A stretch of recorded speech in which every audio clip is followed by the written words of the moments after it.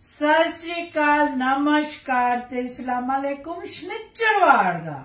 ਸ਼ਨੀਚਰਵਾਰ ਨੂੰ ਅੱਜ ਮਾਰਨਿੰਗ ਵਿੱਚ ਆਪਾਂ ਨਹੀਂ ਮਿਲੇ, ਕਿਉਂਕਿ ਆਪਾਂ ਸ਼ਾਮ ਨੂੰ ਮਿਲਣਾ ਹੈ ਤੇ ਸ਼ਨੀਚਰਵਾਰ ਮਾਰਨਿੰਗ ਦੀ ਫੇਰ ਅਸੀਂ ਕੋਸ਼ਿਸ਼ ਕਰ ਰਹੇ ਹਾਂ ਕਿ ਸਾਡਾ ਵੀ ਕੋਈ ਰੁਟੀਨ ਜਿਹੜਾ ਹੈ ਸੈੱਟ ਹੋਵੇ। ਇਸ ਕਰਕੇ ਸਾਨੂੰ ਸ਼ੁੱਕਰ, ਸ਼ਨੀਚਰ ਤੇ ਇਤਵਾਰ ਤਿੰਨੋਂ ਦਿਨ ਮਿਲ ਰਹੇ ਨੇ। ਵੀ ਤੁਸੀਂ ਜਾਓ ਬੀਬੀਓ, ਸੈਰ ਕਰਕੇ ਆਓ। ਕੀ ਕਹਿੰਦੇ ਹੋ? ਹਾਂ ਤੇ ਸ਼ਨੀ ਜਿਹੜੀ ਮਾਰਨਿੰਗ ਹੈ ਉਹ ਬੜੀ ਲੇਟ ਸ਼ੁਰੂ ਹੋਈ ਹੈ ਸਾਢੇ ਨੌ ਹੋ ਗਏ ਨੇ। ਇੱਕ ਤਾਂ ਨਾ ਦੁੱਖ ਦੇ ਰੱਗ ਦੇ ਉੱਤੇ ਹੱਥ ਰੱਖ ਦਿੰਦੇ ਨੇ। ਅੱਛਾ ਚਲੋ ਠੀਕ ਮੈਂ ਹੁਣ ਜੇ ਬੋਲ ਦਿਆਂ ਸਾਰਾ ਕੁਝ ਨਾ ਨਹੀਂ ਨਹੀਂ ਮੈਂ ਬੋਲ ਦਿੰਦੀ। ਹਾਂ ਦੇਖ ਲੈ ਸ਼ਾਂਤ ਹੋ ਅੱਛਾ ਇਹ ਗੁੜ ਇਹ ਇਹ ਕਾਹਦੇ ਵਾਸਤੇ ਇਕੱਠਾ ਕੀਤਾ? ਮੈਂ ਤੇ ਇੱਕ ਟਾਈਮ ਨੂੰ ਯਾਦ ਕਰ ਰਹੀ ਹਾਂ ਜਦੋਂ ਆਪਾਂ ਇਹ ਚੈਨਲ ਸ਼ੁਰੂ ਕਰਨ ਤੋਂ ਇੱਕ ਦਿਨ ਪਹਿਲਾਂ ਹਾਂ। ਜਦੋਂ ਕੀ ਪਕਾਇਆ ਸੀ? ਮਿੱਠੀਆਂ ਰੋਟੀਆਂ। ਬਾਹਰ ਆਪਾਂ ਬੈਠੇ ਸੀ ਤੇ ਕਹਿੰਦੇ ਤ੍ਰਿਪਤਾ ਮਿੱਠੀਆਂ ਰੋਟੀਆਂ ਬਣਾ ਲੈ। ਮੈਂ ਕਿਹਾ ਓਕੇ ਜੀ ਮਿੱਠੀਆਂ ਰੋਟੀਆਂ ਬਣਾ ਲੈਣੇ ਆ ਮੈਂ ਅੰਦਰ ਆਈ ਜਿਵੇਂ ਬੈਠੀ ਸੀ ਉਵੇਂ ਹੀ ਆ ਗਈ ਤੇ ਮੈਂ ਮਿੱਠੀਆਂ ਰੋਟੀਆਂ ਬਣਾਉਣੀਆਂ ਸ਼ੁਰੂ ਕਰਤੀਆਂ ਇਹਨਾਂ ਨੇ ਵੀਡੀਓ ਬਣਾਉਣੀ ਸ਼ੁਰੂ ਕਰ ਦਿੱਤੀ। ਇੱਥੇ ਮੈਨੂੰ ਯਾਦ ਹੈ, ਇੱਥੇ ਬਣਾਈ ਸੀ। ਬਿਲਕੁਲ ਇੱਥੇ ਹੀ। ਇਹਨਾਂ ਨੇ ਵੀਡੀਓ ਬਣਾਉਣੀ ਸ਼ੁਰੂ ਕਰ ਦਿੱਤੀ। ਇਹਨਾਂ ਨੇ ਵੀਡੀਓ ਬਣਾ ਕੇ ਆਪਣੇ ਫੇਸਬੁੱਕ ਤੇ ਪਾ ਦਿੱਤੀ ਤੇ ਉਹ ਹਜ਼ਾਰਾਂ ਦੇ ਵਿੱਚ ਚੱਲ ਗਈ ਤੇ ਮੇਰੀ ਧੀ ਨੇ ਬਣਾ ਦਿੱਤਾ ਤੇ ਚੈਨਲ। ਲੋਕ ਜਦੋਂ ਪਾਈ ਨਾ ਮੈਂ ਉਹ ਉਹ ਕਹਿੰਦੇ ਅੱਛਾ ਮਿੱਠੀ ਰੋਟੀ ਕੋ ਬੜੇ ਇੱਕ ਤਾਂ ਅਹ, ਭੁੱਲੇ ਪਏ ਆ। ਭੁੱਲੇ ਪਏ ਆ ਬੜੇ ਲੋਕੀ ਫਿਰ ਬਣਾਉਣੀਆਂ ਮਤਲਬ ਹਰੇਕ ਨੂੰ ਆਉਂਦੀਆਂ ਨਹੀਂ ਹੈਗੀਆਂ ਤੇ ਨਵੀਂ ਪੀੜ੍ਹੀ ਨੂੰ ਖਾਸ ਕਰਕੇ ਬਿਲਕੁਲ। ਤੇ ਉਹ ਜਦੋਂ ਪਾਈਆਂ ਤੇ ਅਸੀਂ ਖਾਣ ਦੀਆਂ ਵੀ ਪਾਉਣ ਦੀਆਂ ਤੇ ਇੱਥੇ ਮੈਨੂੰ ਯਾਦ ਹੈ। ਕਿ ਕਰ ਰਹੀ ਜਦੋਂ ਤੇ ਉਹ ਬਣਾ ਕੇ ਤੇ ਪਾ ਦੀ ਉਹ ਇੰਨੀਆਂ ਲਾਈਕ ਕੀਤੀਆਂ ਲੋਕਾਂ ਨੇ ਇੰਨੀਆਂ ਪਸੰਦ ਆਈਆਂ ਲੋਕਾਂ ਨੂੰ। ਤੇ ਉੱਥੋਂ ਜਦੋਂ ਫਿਰ ਇਹ ਉਹ ਚੱਲ ਗਈ ਬੜੀ। ਵੀਡੀਓ ਫੇਸਬੁੱਕ ਤੇ ਵੀ ਦੇਖੀ ਗਈ ਕਾਫੀ ਉਹ। ਤੇ ਮੈਂ ਐਵੇਂ ਤੋਂ ਜੀਨੀਆ ਨੇ ਕਿਹਾ ਸੀ ਕਿ ਜੀਨੀਆ ਨੇ ਚੈਨਲ ਬਣਾਤਾ। ਜੀਨੀਆ ਮੈਂ ਕਿਹਾ ਕਿ ਕਿਉਂ ਇਹਦਾ ਕੋਈ ਚੈਨਲ ਨਹੀਂ ਬਣੇ ਪਾ ਲਿਆ ਕਰੋ। ਨਹੀਂ ਮੈਂ ਕਿਹਾ ਇਹ ਰਿਕਾਰਡ ਕਰਕੇ ਪਾ ਲਿਆ ਕਰੋ ਪਾ ਪਾਇਆ ਕਰੋ ਜੀ। ਉਹ ਕਹਿੰਦੇ ਆ ਵੀ ਠੀਕ ਹੈ। ਤੇ ਵੀ ਆਪਾਂ ਇਹ ਕਰਦੇ ਆ ਉਹ ਬਣਾ ਲੈਨੇ ਆ। ਚੈਨਲ ਬਣਾ ਲੈਨੇ ਚੈਨਲ ਮੇਰਾ ਬਣਾ ਦਿੱਤਾ। ਇੰਨਾ ਕੁਝ ਹੈਗਾ ਤੇ ਆਂਟੀ ਨੂੰ ਫਸਾ ਦਿੱਤਾ। ਘੁੰਮਣ ਕੇ ਵਿੱਚ ਪਾ ਦਿੱਤਾ। ਘੁੰਮਣ ਕਰੀਬ ਚ ਪਾ ਦਿੱਤਾ। ਵੀਡੀਓ ਰਿਕਾਰਡਿੰਗ ਦੀ ਘੁੰਮਣ ਤੁਹਾਡੇ ਸਾਰੇ ਪਿਆਰਿਆਂ ਨਾਲ ਮੈਨੂੰ ਮਿਲਾ ਦਿੱਤਾ। ਅੱਜ ਮਿਲਣਾ ਸ਼ਾਮ ਨੂੰ। ਹੁਣ ਇਹ ਦੇਖ ਲਓ। ਇਹ ਗੁੜ ਦਾ ਉਹੀ ਲੱਗਦਾ ਜਿਹੜਾ ਆਪਾਂ ਉੱਥੇ ਲਿਆਂਦਾ ਸੀ। ਹਾਂ ਕੁਲਾੜੀ ਵਾਲਾ ਗੋੜੀ ਹੈ ਘਰਾੜੀ ਵਾਲਾ ਬਨੂੜ ਤੇ ਰਾਜਪੁਰੇ ਦੇ ਵਿਚਕਾਰੋਂ ਤੇ ਆਟਾ ਤੇ ਮੈਂ ਬਣਾਉਣ ਲੱਗੀ ਬਲਜੀਤ ਸਿੰਘ ਤੋਂ ਮੇਰੇ ਸਰਨਾਮੀਆਂ ਤੋਂ ਲਿਆਂਦਾ ਗੁੜ ਹੈਨਾ? ਯਾਦ ਹੈ? ਜੀ ਜਨਾਬ ਹੁਣ ਮੈਂ ਬਣਾ ਲਾਂ। ਬਣਾ ਲਓ ਜੀ ਮੈਂ ਆਪਣਾ ਤੁਸੀਂ ਹੁਣ ਆਪਣਾ ਤਿਆਰ ਹੋ ਕੇ ਆਓ ਫਿਰ ਤੁਹਾਨੂੰ ਖਵਾਨੇ ਆ ਠੀਕ ਹੈ। ਓਕੇ। ਚੱਲਦੇ ਆ ਆਪਾਂ। ਠੀਕ ਹੈ। ਮੈਂ ਤੁਹਾਨੂੰ ਮਿੱਠੀਆਂ ਰੋਟੀਆਂ ਜਿਹੜੀਆਂ ਵਿਦ ਟ੍ਰਿਪ ਐਂਡ ਟ੍ਰਿਕਸ ਦੇਣੀਆਂ ਨੇ। ਆਪਾਂ ਨੂੰ ਜੇ ਇੱਕ ਗਲਾਸ ਫੁੱਲ ਪਾਣੀ ਨਾਲ ਜਿੰਨੇ ਆਟਾ ਗੁੰਨਣਾ ਹੋਵੇ, ਤੇ ਆਪਾਂ ਨੂੰ ਅੱਧਾ ਗਲਾਸ ਪਾਣੀ ਦਾ ਚਾਹੀਦਾ ਹੈ, ਬਾਕੀ ਇਹਦੇ ਵਿੱਚ ਪਏਗਾ ਗੁੜ। ਗੁੜ ਜਿਹੜਾ ਹੈ, ਉਹਨੂੰ ਕੁੱਟ ਕੇ, ਗੁੜ ਤੁਹਾਡੇ ਮਿੱਠੇ ਅਨੁਸਾਰ ਹੈ। ਘੱਟ ਮਿੱਠੇ ਵਾਲੇ ਘੱਟ ਖਾ ਸਕਦੇ ਆ ਵੈਸੇ ਰੇਸ਼ੋ ਇਹ ਹੁੰਦੀ ਏ ਵੀ ਜਿੰਨਾ ਆਟਾ ਹੈ, ਆਟਾ ਫੁੱਲਵਾ ਮੰਨ ਲਓ ਇਹ ਅੱਧਾ ਕਿਲੋ ਆਟਾ ਹੈ, ਤੇ ਅੱਧਾ ਕਿਲੋ ਗੁੜ ਪੈਂਦਾ ਹੈ। ਤੇ ਪਾਣੀ ਜਿਹੜਾ ਉਹ ਅੱਧਾ ਗਲਾਸ ਹੀ ਕਾਫੀ ਹੋ ਜਾਂਦਾ ਹੈ, ਕਿਉਂਕਿ ਅੱਧੇ ਗਲਾਸ ਨੇ, ਇੱਕ ਗਲਾਸ ਪਾਣੀ ਬਣ ਜਾਣਾ ਇਹ ਤਾਂ ਹੈਗਾ ਟ੍ਰਿਪ ਐਂਡ ਟ੍ਰਿਕਸ ਬਾਕੀ ਕਿਵੇਂ ਬਣਾਉਣੀਆਂ ਨੇ, ਆਟਾ ਕਿਵੇਂ ਗੁੰਨਣਾ ਹੈ, ਮੈਂ ਹੁਣ ਤੁਹਾਨੂੰ ਦੱਸਦੀ ਹਾਂ। ਇਹ ਦੋ ਕਟੋਰੀਆਂ ਆਟਾ ਵੇ, ਠੀਕ ਹੈ ਜੀ? ਇਹ ਦੋ ਕਟੋਰੀਆਂ ਆਟਾ ਵੇ, ਤੇ ਅਸੀਂ ਦੋ ਹੀ ਗੁੰਨ ਲੈਣੇ ਆ ਖਵਾ ਦਾਂਗੇ ਆਏਗੇ ਨੂੰ ਕਿਉਂ ਐਵੇਂ ਘੱਟ ਕਰਨਾ। ਇਹ ਮੈਂ ਆਟਾ ਗੁੰਨ ਲਿਆ ਲੈ ਲਿਆ ਦੋ ਕਟੋਰੀਆਂ। ਫਿਰ ਇਹਦੇ ਵਿੱਚ ਮੈਂ ਰਲਾਵਾਂਗੀ ਇੰਨੇ ਕੁ ਸੌਂਫ। ਸੌਂਫ ਇਹਦੇ ਵਿੱਚ ਬਹੁਤ ਸਵਾਦ ਲੱਗਦੇ ਨੇ। ਅੱਛਾ, ਹੁਣ ਮੈਂ ਕੀ ਕੀਤਾ ਹੋਇਆ ਵੇ? ਮੈਂ ਤੁਹਾਨੂੰ ਤਾਂ ਨਹੀਂ ਉਹ ਦਿਖਾ ਪਾ ਰਹੀ ਆਟਾ ਤੇ ਉਹ। ਇਹ ਜਿਹੜਾ ਪਾਣੀ ਹੈ ਨਾ, ਮੈਂ ਬਣਾ ਕੇ ਰੱਖਿਆ ਹੋਇਆ ਵੇ। ਇਹ ਜਿੰਨਾ ਮੈਨੂੰ ਉਹ ਚਾਹੀਦਾ ਸੀ ਮਿੱਠਾ ਤੇ ਅੱਧਾ ਗਲਾਸ ਪਾਣੀ ਮੈਂ ਪਾਇਆ ਤੇ ਉਹ ਬਣ ਗਿਆ ਪੂਰਾ ਗਲਾਸ ਤਕਰੀਬਨ। ਇਹ ਗੁੜ ਨੂੰ ਜਿਹੜਾ ਹੈ ਨਾ ਛਾਨਣਾ ਕਿਸੇ ਵੀ, ਕੋਈ ਵੀ ਚੀਜ਼ ਤੁਸੀਂ ਬਣਾਉਣੀ ਹੈ, ਇਹ ਟਿਪ ਹੈ। ਕੋਈ ਵੀ ਚੀਜ਼ ਬਣਾਣੀ ਹੈ, ਗੁੜ ਨੂੰ ਛਾਣ ਜ਼ਰੂਰ ਲਓ, ਇਹਦੇ ਵਿੱਚ ਮਾੜਾ ਮੋਟਾ ਗੰਦ ਜਿਹੜਾ ਉਹ ਹੁੰਦਾ ਇਹ ਹੈਗਾ ਸਾਡਾ, ਦੇਖੋ ਜੀ, ਆਟਾ ਅਸੀਂ ਲੈ ਲਿਆ। ਇਹ ਸਾਡਾ ਘਰ ਦਾ ਘੀ ਵਾਈਟ ਬਸ ਸਾਡੇ ਘਰ ਦੀ ਘੀ ਦੀ ਇਹੀ ਖਾਸੀਅਤ ਹੈ। ਕਿ ਇਹ ਵਾਈਟ ਹੁੰਦਾ। ਇਹ ਘੀ ਜਿਹੜਾ ਆਪਾਂ ਆਟੇ 'ਚ ਪਾਉਂਦੇ ਆ ਨਾ, ਇਹ ਹੁੰਦੀ ਹੈ ਮੋਇਨ।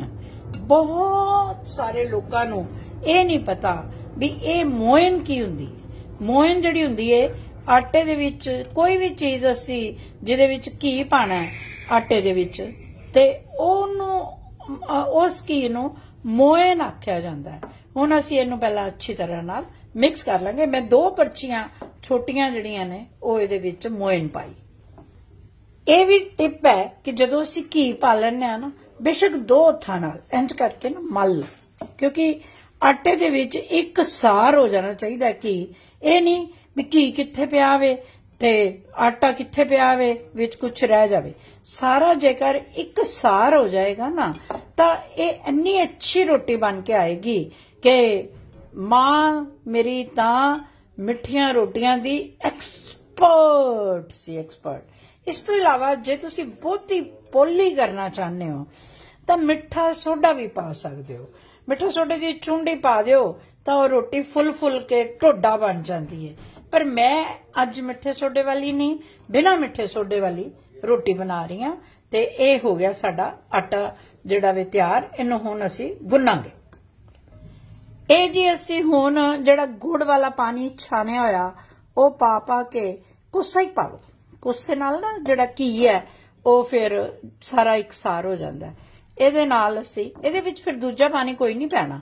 ਇਹ ਵਾਲਾ ਹੀ ਪਾਣੀ ਪੈਣਾ ਤੇ ਇਹਨੂੰ ਅਸੀਂ ਇਦਾਂ ਕਰਕੇ ਗੁੰਨ ਲਾਂਗੇ।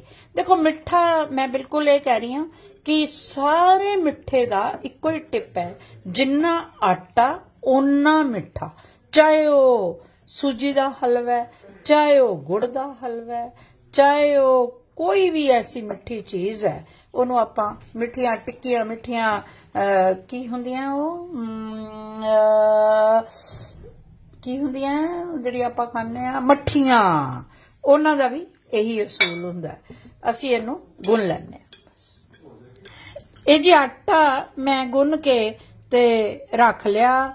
ਇਹਨੂੰ ਇੰਨਾ ਕੁ ਸੌਫਟ ਚਾਹੀਦਾ ਹੈ। ਬਹੁਤ ਜ਼ਿਆਦਾ ਟਾਈਟ ਵੀ ਨਹੀਂ ਚਾਹੀਦਾ, ਰੋਟੀ ਫਟਦੀ ਹੈ ਤੇ 10 ਮਿੰਟ ਜੇ ਪਿਆ ਰਵੇ ਤਾਂ ਸਮਿਜ ਜਾਂਦਾ ਇਹ ਹੁਣ ਮੈਂ ਕੱਢ ਲਿਆ ਤੇ ਇਹਦੇ ਮੈਂ, ਜਿਵੇਂ ਦੀ ਤੁਸੀਂ ਵੱਡੀ ਰੋਟੀ, ਛੋਟੀ ਰੋਟੀ ਚਾਹੁੰਦੇ ਹੋ ਤੇ ਮੈਂ ਚਾਰ ਕਰ ਲਏ ਨੇ, ਤੁਸੀਂ ਜਿੰਨੇ ਚਾਹੋ ਤੇ ਕਰ ਲਓ। ਤੇ ਇਹਨੂੰ ਇਦਾਂ ਕਰਕੇ ਤੇ ਬੜੇ ਪਿਆਰ ਦੇ ਨਾਲ ਵੇਲੀ ਜਾਣਾ ਅਸੀਂ ਰੋਟੀਆਂ ਨੂੰ। ਹੱਥ ਨਾਲ ਵੀ ਕਰ ਸਕਦੇ ਆ, ਇਹਦੇ ਨਾਲ ਵੀ ਵੇਲ ਸਕਦੇ ਆ। ਜਦੋਂ ਇਹਦੇ ਨਾਲ ਵੇਲਦੇ ਆ ਤਾਂ ਆਸ-ਪਾਸ ਸੇ ਰੋਟੀ ਫਟਦੀ ਏ ਤੇ ਜਾਂ ਇਹਨੂੰ ਹੱਥ ਨਾਲ ਐਦਾਂ ਐਦਾਂ ਵੀ ਅਸੀਂ ਕਰ ਸਕਦੇ ਹਾਂ। ਇਹ ਅਸੀਂ ਤਵਾ ਜਿਹੜਾ ਗਰਮ ਕਰ ਲਿਆ ਤੇ ਇਹਨੂੰ ਗ੍ਰੀਸਿੰਗ ਜਿਹੜੀ ਹੈ, ਇਹ ਤਵਾ ਮੈਂ ਵੱਡਾ ਇਸ ਕਰਕੇ ਰੱਖਿਆ ਕਿ ਇਹਦੇ ਉੱਤੇ ਤਿੰਨ ਚਾਰ ਰੋਟੀਆਂ ਇਕੱਠੀਆਂ ਹੀ ਅਸੀਂ ਬਣਾ ਸਕਦੇ ਹੁੰਨੇ ਆ ਤੇ ਇਹ ਜਿਹੜੀ ਰੋਟੀ ਹੈ ਇਹਨੂੰ ਐਦਾਂ ਕਰਕੇ ਪਾ ਦੇਣਾ।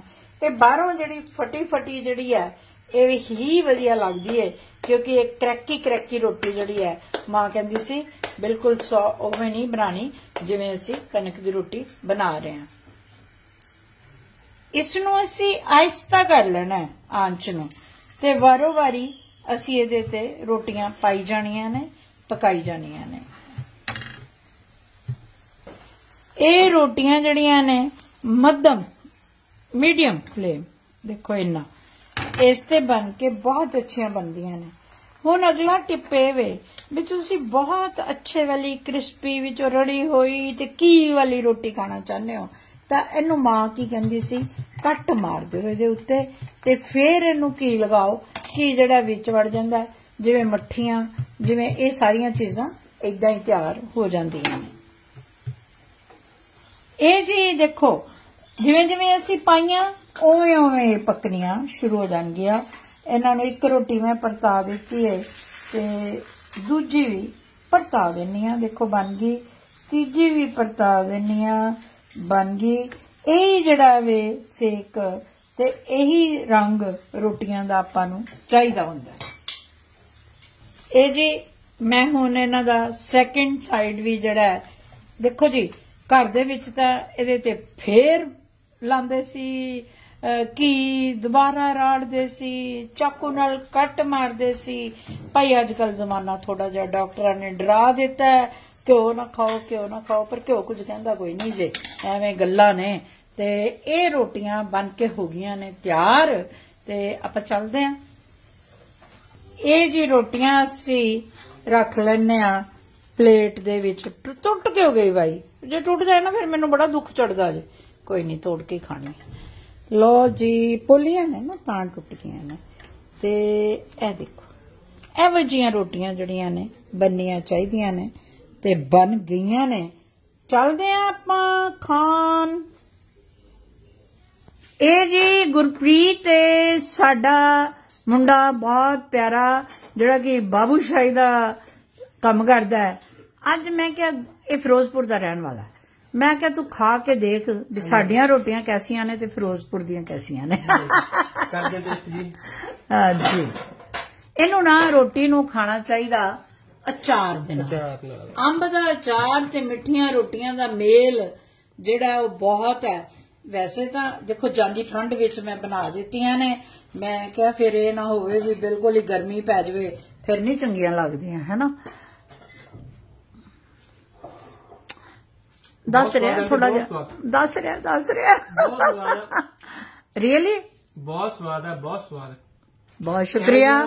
ਬੇਬੇ ਬਣਾਉਂਦੀ ਹੁੰਦੀ ਸਾਡੀਆਂ ਮਤਲਬ ਹੁਣ ਮੰਮੀ ਤਾਂ ਖੈਰ ਮੰਮੀ ਦੀ ਰੋਟੀਆਂ ਖਾਧੀ ਨੇ ਮਤਲਬ 4 ਮਹੀਨੇ ਹੋ ਗਏ ਹਾਂ। ਸਹੀ ਹੈ। ਬੇਬੇ ਬਣਾਉਂਦੀ ਹੁੰਦੀ ਸੀ ਤੇ ਮਤਲਬ ਉਹ ਤਾਂ ਐਦਾਂ ਹੁੰਦਾ ਸੀਗਾ ਕਿ ਜਦੋਂ ਮੀਂਹ ਕਣੀ ਪੈਂਦਾ ਸੀ ਨਾ ਤਾਂ ਤਾਂ ਬਣਦੀ ਹੀ ਬਣਦੀਆਂ ਸੀ। ਨਹੀਂ ਠੰਡ ਚ ਵੀ ਬਣ ਜਾਂਦੀਆਂ ਨੇ। ਤੇ ਮੀਂਹ ਕਣੀ ਚ ਵੀ ਬਣ ਜਾਂਦੀਆਂ। ਨੇ। ਹਾਂਜੀ ਹਾਂਜੀ। ਤੇ ਫਰਮੈਸ਼ ਤੇ ਵੀ ਬਣ ਜਾਂਦੀਆਂ ਹਾਂ ਉਹ ਮੇਰੇ ਵਿਊਅਰਸ ਦੀ ਫਰਮੈਸ਼ ਸੀ ਵੀ ਰੋਟੀਆਂ ਇਹਨੂੰ ਨਾ ਟੋਡੇ ਵੀ ਕਹਿੰਦੇ ਨੇ। ਅੱਛਾ ਜੀ। ਟੋਡੇ ਵੀ ਕਹਿੰਦੇ ਨੇ। ਤੇ ਇਹ ਨੇ ਮਿੱਠੇ ਟੋਡੇ ਤੇ ਗੁਰਪ੍ਰੀਤ ਕਹਿ ਰਿਹਾ ਬੜੀਆਂ ਸਵਾਦ ਨੇ। ਅੰਕਲ ਜੇ ਠਹਿਰ ਕੇ ਖਾਣਗੇ। ਬਹੁਤ ਸ਼ੁਕਰੀਆ। ਮਿਹਰਬਾਨੀ ਸਾਡੇ ਨਾਲ ਜੁੜਨ ਵਾਸਤੇ। ਕਰ ਦੇਣਾ ਫੋਲੋ ਕਰ ਲੈਣਾ ਪੇਜ ਨੂੰ ਸ਼ੇਅਰ ਕਰ ਦੇਣਾ। ਬਹੁਤ ਹੀ ਮਿਹਰਬਾਨੀ।